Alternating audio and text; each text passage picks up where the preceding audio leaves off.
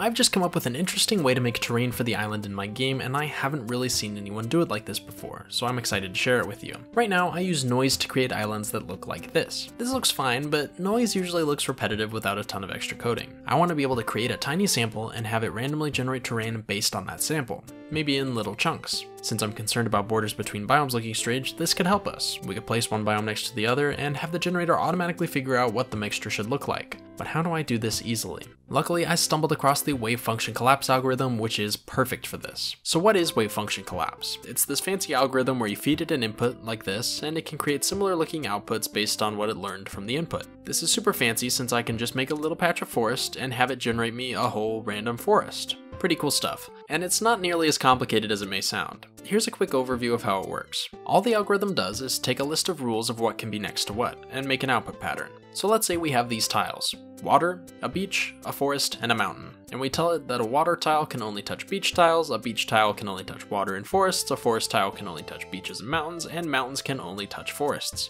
You then have an output grid like this, where every option is equally possible. Any tile can be water, a beach, a forest, or a mountain. You pick a random one to start. You'll then notice that your options nearby get reduced. Since only forests can be next to mountains, all of the neighbors of your new mountain have less possibilities. You choose the one with the lowest amount of options and collapse it into a choice. Let's randomly pick forest. These new changes propagate outwards to the neighbors again, and now it must be either a mountain or a beach.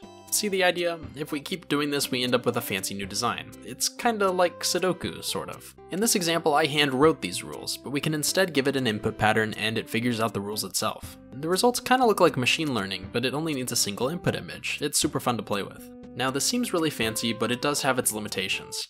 Take this little sample with the tiny rooms here. When we tell it to go, it makes stuff that doesn't look quite right at a large scale. Like here are all these parallel paths that we don't want, and there's this little disjointed room here, it, it just isn't right. The algorithm is really good at repeating patterns on a small scale, but that's about it. You can also give it a partially completed output and it'll fill in the blanks for you. I'm sure you can now see the magic for how this could be used for my sectors. I can have a forest sample generate a forest sector, have a desert sample generate a desert sector, and then we can have a special stitcher take a look at what's already placed and fill in the gaps based on our special desert to forest sample we made. This all sounds cool, but let's give it a try and see if it even works. First things first, I made a little thing where you can place down some objects in a grid and use it as input. Then spent two days coding like crazy. I soon had something working. Here's a sample where I enter this little line pattern and it outputs something that perfectly follows my input. Now it's time to try making a forest. I made this little sample here and got it to generate a bunch of forest tiles. As you can see, it left a bunch of gaps between them. I like how it looks so far, and they all look unique enough, but similar to the sample one. Next up, I made it use that same pattern to stitch all the boxes together. I think it looks pretty good. There are some places where you can tell it was stitched, but overall it seems fairly seamless. So all this seems great, and it seems to be working, but we have a major problem. It's insanely slow. When I make a big enough map, say a thousand by a thousand tiles, it takes five whole minutes to finish. That's right, it would take five minutes to create an island that honestly might even need to be bigger. This is completely unacceptable, and luckily I found a way to speed it up to just four seconds. But before I dive into how, I've got a word from our wonderful sponsor for today's video, Southern New Hampshire University. I personally commuted to school and had to drive an hour every day, spend 30 minutes looking for parking, walk up this insane hill, and sit through classes that could have been a 20 part YouTube series. I would have traded my soul just to do it online instead, and that's exactly what SNHU offers. Their online courses make it so you don't need to leave your precious cave, and it's pretty affordable. They have all sorts of degrees, but I imagine most viewers here will be interested in computer science or game development. They've got classes that cover programming, physics, graphics and interface design, basically everything you would need for a 100% legitimate degree. The classes are also taught by industry professionals, so you'll get some wonderful connections to people in the industry who might be useful later on. All of my engineering jobs I've gotten were through connections at school, so I personally found networking to actually be important. But yeah, if this sounds interesting at all, there's a link in my description below, so feel free to check that out. Anyways, back to the issue at hand. The algorithm was taking way too long to run since it's pretty complicated. To fix this, I headed to the Discord server of Boris the Brave. Boris is a bit of an expert on this sort of thing, and I reached out to see if he had any insight to help speed things up. He recommended I try Unity's Burst compiler to give it some extra speed. I had hardly used the Burst compiler before, so this was a bit of a learning experience for me, but here's what it is. Basically, C Sharp isn't the fastest language. It has lots of tools and features that make it easier to use, and these make it slower. Unity lets you write code that doesn't use a lot of these features, so it can compile it into something that runs much quicker. It also uses Unity's job system, which allows your entire CPU to do these tasks in parallel instead of doing them one at a time. I'll show that later. The only downside is you have to write code without using all the useful features. This took a little while, but I finally got it working, and let me tell you, I was blown away by the results. Here are some stats. Before using the burst compiler, getting it as efficient as I could, it took an average of 3.05 seconds to do a 100 by 100 map. This means a full-size map would take about 5 minutes. I then implemented Burst, and was super sad to see it took 4.3 seconds for the same test. It got slower. I was banging my head into a wall until I realized I was doing something incredibly stupid. I was basically making a bunch of temporary variables, doing the calculation, then disposing of those variables. Then the next forest sector would come along and I'd redo the same thing. I should have been keeping the variables that I can reuse instead of wasting time remaking them. After taking this into account, it did 100 by 100 tiles in only 250 milliseconds. That means I could do the entire map in around 30 seconds. Since the Unity editor uses a fair chunk of the CPU, I exported the game and on its own it did the full map in only 4 seconds, lightning quick. Here you can see it doing all these little sectors in parallel. Each one of these little boxes is a single run of the algorithm. It's clear that doing them all at once is multitudes faster than doing them all in a straight line.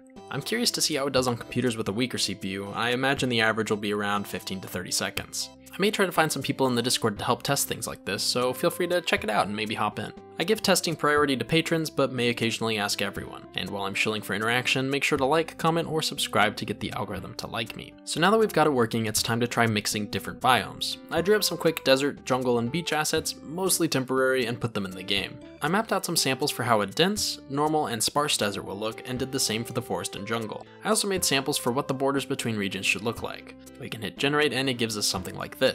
You may notice I use Perlin Noise to decide where to place each sector. In the future, I'll probably do this a bit more manually so I can have more control over the paths. Some places look a bit goofy, but overall I think it looks natural enough. The borders between zones aren't flawless, but I think tweaking my input images will help a bit. I'm also not in love with how boxy everything is from a distance, but maybe I can experiment with sectors that are a bit smaller than 10 by 10. Overall, I'm pretty happy with how it's turning out. I shaped it into a circular island, which in the future will likely be more organic, and tried the beaches. I think they look alright, a little lumpy, but that's also fixable. This is super exciting because if I want to change how everything looks or how many trees there are, I don't need to go into the code or hand erase 100 trees. I just have to change up this one little sample, and I can add an endless amount of interchangeable sectors to spice things up. Now my world generation mostly involves moving around these interchangeable puzzle pieces, which makes things much easier. This may seem like decent progress for the 4 weeks since the last video, but I'm not done yet. I also take a stab at some simple dungeon generation. I started by brainstorming what types of dungeons we want. First off, we want some simple ones with just a bunch of rooms, mostly connected by paths with maybe some branching. I'd also like to be able to define a shape and have a generator that can fill it with interesting rooms, maybe for like a boat or something. Lastly, I want some that resemble villages where it's just a bunch of separate buildings and maybe a wall around everything. There are probably more ideas, but that's a good start. I began by making the first type. Since I want dungeons that don't feel very generated, I'm to hand make most of the rooms. In a simple one, I'd like to maybe have a boss room that's handmade, an entry that's handmade, and then a pool of handmade middle rooms that can be chosen from. This way, every time you play, the dungeons are a bit different and contain different stuff. I got it working, and you can see here that the dungeons look pretty decent. Please ignore that it's made out of wood for now, I, I haven't made any dungeon assets yet. And of course, if I get lazy, I can use wave function collapse to maybe create some variety in the rooms. This type of structure will mostly be found underground, so it looks a bit out of place on the surface, but I'm still pretty happy with it. Now I've decided to save the other two dungeon types for later to focus more on important gameplay type stuff. It's just nice to know that it works, and it helps me set up some other important code.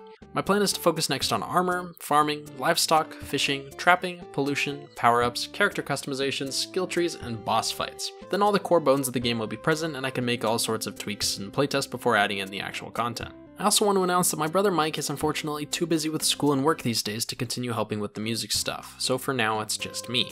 I searched a bit for some composers, including those who've reached out, and decided to commission something from Ricardo from RMD Compositions. He did a fantastic job with a general goblin forest theme, and I wanted to play a bit for you guys. I asked for something that had tinges of goblin vibes without being overwhelming, a very subtle 8-bit influence, and similarities to things like Terraria and Stardew. I also wanted an air of optimism, but with a bit of wariness towards a looming threat of human invasion. Lastly, I didn't want it to be too melodic and rigid.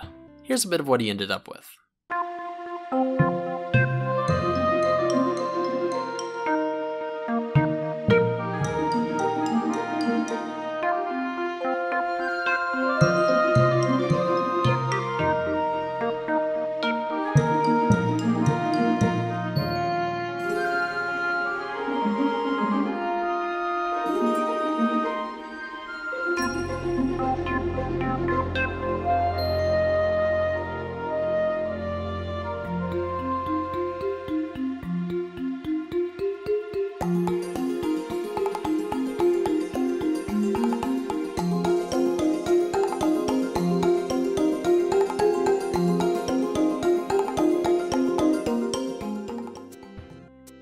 Get the idea.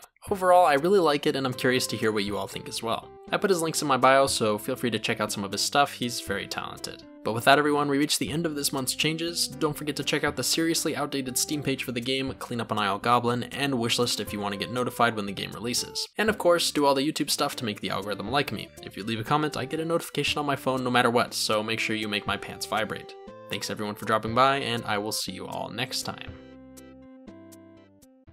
Hello everyone, the time has come to shout out our eternally gracious patrons. I'd like to give a super special shout out to our Goblin Deity patrons for March of 2023, namely Zachary Neese, Zach Fox, Sarah, Krakenfall, Brett Hudson, Jackson Singleton, Matthew Spencer, Bertiti, Joseph Scobby, Megan Palmer, Samantha Fullen, and Random8408. You're all amazing and I appreciate all of the support.